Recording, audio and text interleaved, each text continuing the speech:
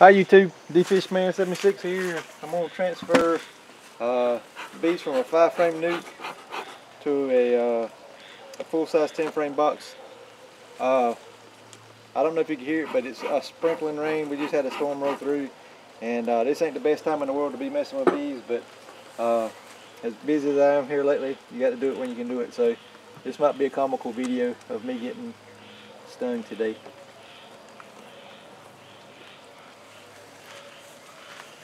So what you want to do is take the top off, look them over pretty good, take the bees, set them on the ground,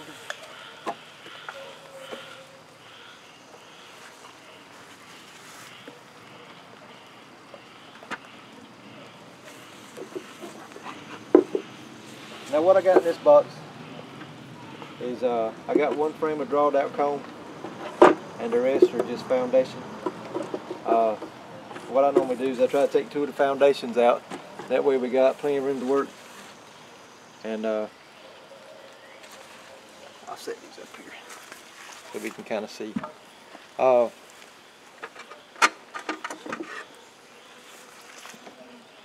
these bees here are actually out of a, a cutout that I did at a church that I videoed, but somehow I messed up and deleted part of the video, so I never posted it.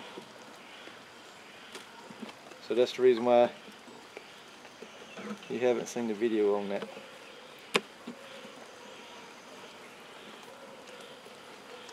There was just four frames in here and I added a frame of, there's one trying to get in my coat. I added a, a frame the other day and that's as much as they've drawed out on it so far but I put it in the hive. When you split up your five frame nucs like this right here, you kind of want to try to keep the uh,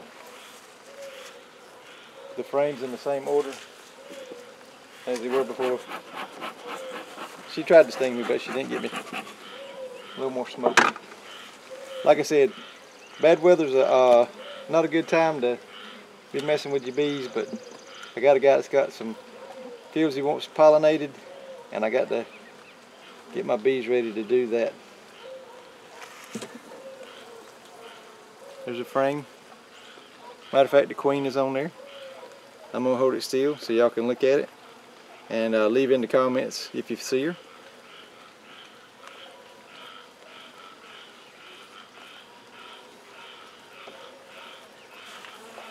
There's also uh, freshly laid eggs in there. That's one uh, sign you can tell that the queen has been on that frame.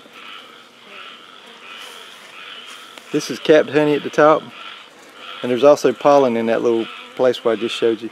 But like I said, the queen is uh is on here. If you uh, pause it, if you want to try to find her, I'm gonna point her out so you can uh, so you'll know if that's her or not. So uh, five, four, three, two, one. Right there's your queen.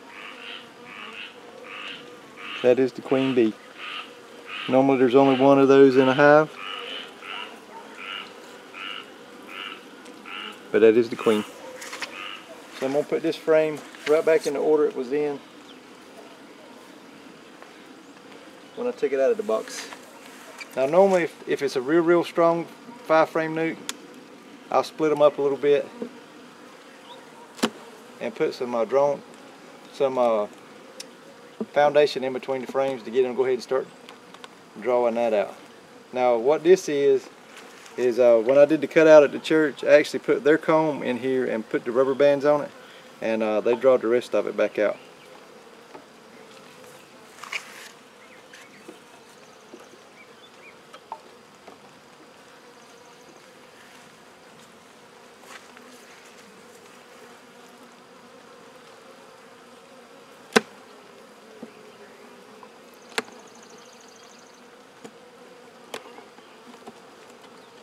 These are some little five frame nucs that I built off of uh, beesource.com and uh, I didn't get them squared up exactly but uh, sometimes the frames can be a little bit harder to get out. All the white stuff up here at the top This right here is capped honey. This right here is worker brood. That's where all the your female bees come from. And there's a little bit of pollen right there. Normally, the way it works is they'll have brood in the center, a uh, ring of pollen, and then the honey across the top. This is our new comb built. If you'll notice how the cells are, are bigger, that's drone cells. Drones are the male bees in the colony. Matter of fact, that's a drone right there. You can tell by the big eyes and a little bit bigger body.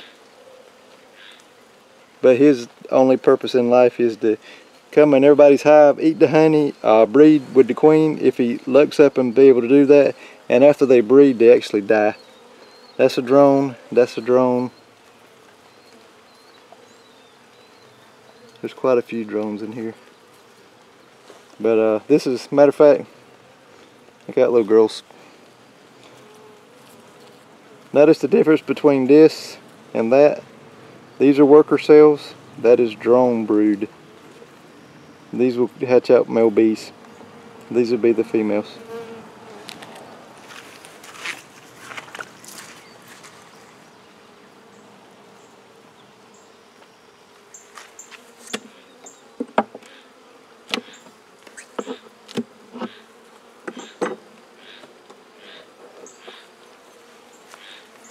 This right here is a plastic foundation.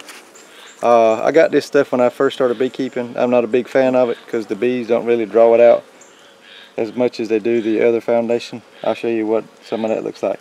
But as you can tell, it's hard plastic. It's got a uh, wax coating on it. But uh, you can see where they're drawing it out. That's a good shot of uh, that's uh, pollen right here and then it's going into nectar and then into the capped honey. Nectar is just uh, honey that's not been capped yet. They have to uh, fan it out and get it down to less than, I think it's 15% moisture before they'll cap it. Uh, if you process honey that's not capped, uh, it will ferment and go bad. Capped honey, uh, there's case studies or there's, they found honey in a, uh, an Egyptian tomb one time. It was over 3,000 years old and the honey was still good. So honey will crystallize, but as long as it's was capped honey and the water percentage is down in it, it will not go bad. So here's some more more drones. Drones don't have stingers, as you can tell. They're pretty much defenseless. If you ever want to learn how to pick up bees, drones is a good one to try though. So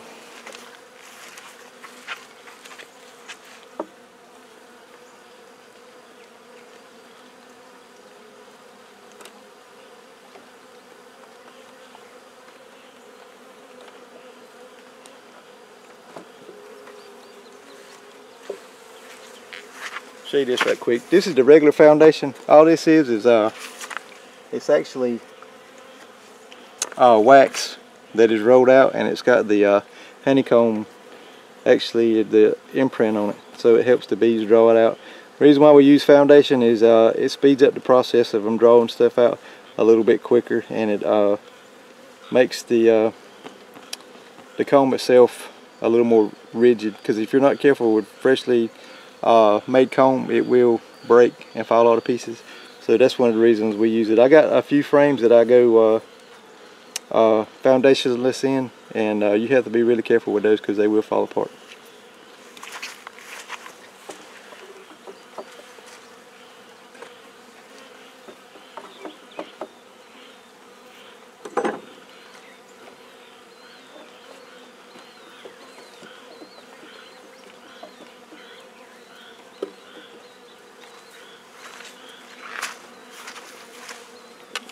So we still got bees in the box. So what I'll do is I'll uh, flip this over, knock it on the top, get the bees out, or most of them. Just like that. Got stung on the ankle. Uh, I'll show you what it looks like.